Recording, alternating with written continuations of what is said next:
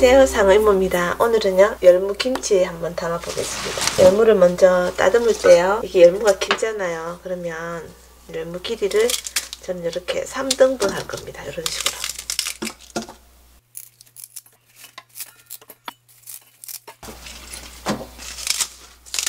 이렇게 다 따듬으면서 제가 이것만 따로 놔뒀거든요. 요 사이 있죠. 무와 줄기 사이에 요 옴푹하게 들어가는 곳.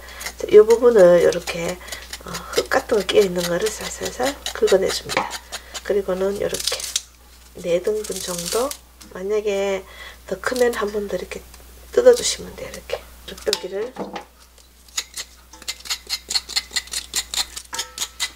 이렇게 긁어내주시고요. 그 다음에 이렇게 4등분 정도 뿌리의 굵기에 따라서 4등분 뭐 아니면 2등분 하시면 되는데요 너무 줄기가 두꺼우면 이렇게 줄기를 조금 이렇게 뜯어주시면 돼요 깨끗하게 씻어야 됩니다 지금 바로 먹을 수 있을 정도로 깨끗하게 씻어줄 겁니다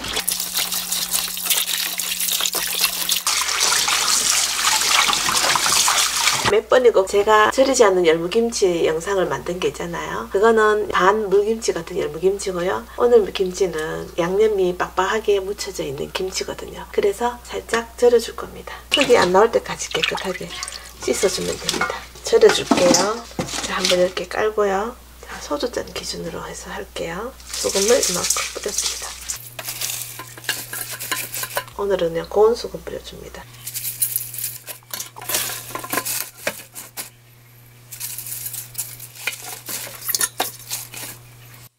자, 소자 하나 쓰고요. 자, 이렇게 한 줌 더 쓸게요. 위에다가 살살 더 뿌리겠습니다. 한 반 종이컵 정도 썼다고 생각하시면 될 것 같아요. 덮어두겠습니다. 열무김치 담을 찹쌀풀을 한번 끓여볼게요. 자, 종이컵에 물을요 하나 하고요. 반 정도 더 넣어줍니다. 찹쌀 가루를 보통으로요 한 스푼 하고 반 스푼만 넣어줍니다. 그리고는 저어주면은 아직 불 안 켰거든요. 이렇게 저어주면 다 풀리거든요, 금방. 찹쌀가루가 또 급히 또 집에 없으면은요, 그냥 밀가루 풀 하셔도 돼요. 계속 저어주시면 금방 끓어요, 양이 작아서. 열무가 절여지는 동안에 양념을 좀 해보겠습니다. 이번에는 어, 홍고추가 지금 저는 한 6개 정도 준비했는데요. 어, 생고추가 없으시면 그냥 마른 고추를 하시면 돼요. 근데 생고추를 넣으면 조금 더 시원하고 맛은 좀 낫거든요. 이렇게 양파가요. 중간 사이즈 한 반 개 정도 넣고요. 그리고 홍고추를 좀 갈아주겠습니다.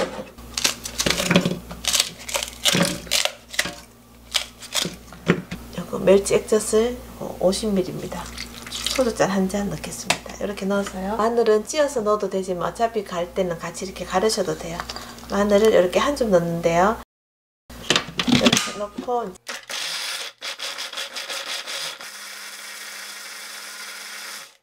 자, 이렇게 갈아줬습니다. 물을 조금만 넣을게요. 이렇게 헹궈내려고. 찹쌀풀 좀 식은 거를요 넣어주겠습니다. 찹쌀 없으시면 당장은요 급하실 때는 또 밀가루 써셔도 돼요. 풀은 어느 풀이나 다 같거든요.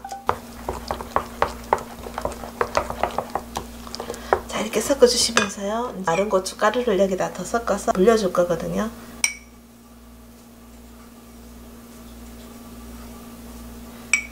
저는 마늘 고춧가루를 이렇게 한 4스푼 정도 넣거든요. 근데 만약에 오늘 홍고추, 생고추를 안 쓰셨다면 이거를요.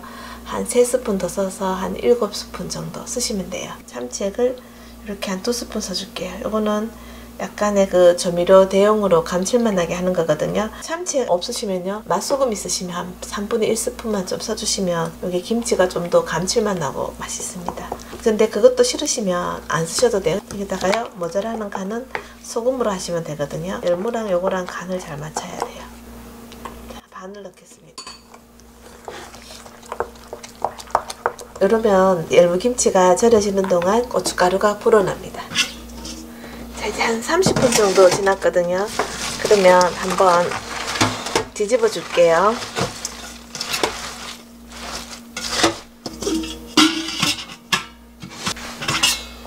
지금 한 50분 됐는데요. 이렇게 해서 한 시간 안에 이제 끝내셔야 됩니다. 너무 오래 놔두면 짜지거든요. 이제 헹궈낼게요.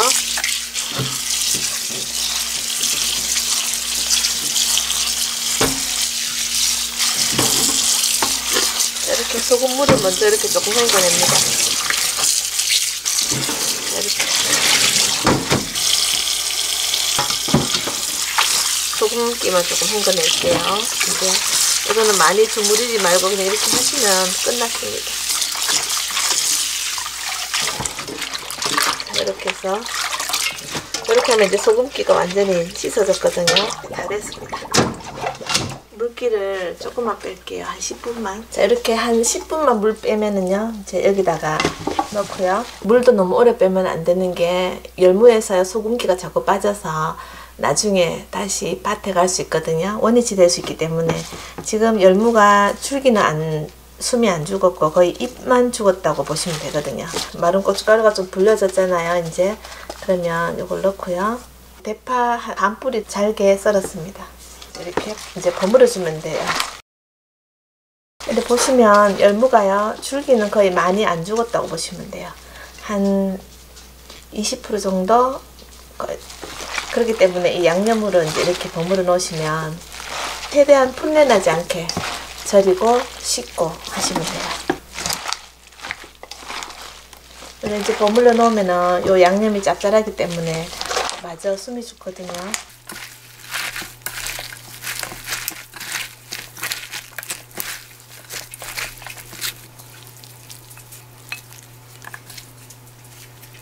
이제 국물 없는 빡빡한 열무 김치 완성되었습니다. 상의모였습니다. 감사합니다.